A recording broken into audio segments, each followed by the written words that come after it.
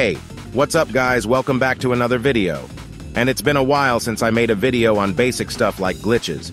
And the glitch I will show you guys in this video gives you infinite speed. So you can become the Flash on Blox Fruits if you want. But unfortunately, you need the permanent version of the Spirit Fruit and one random permanent fruit to be able to do this glitch.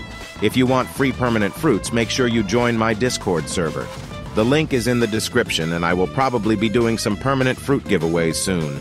Anyways, this glitch has been out for a while, but the developers haven't really bothered to fix it, so you can maybe use this to bounty hunt because you will be practically impossible to kill.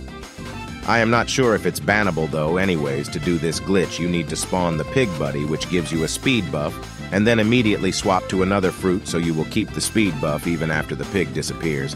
I am going to do this for 10 minutes straight and let's see how fast I get.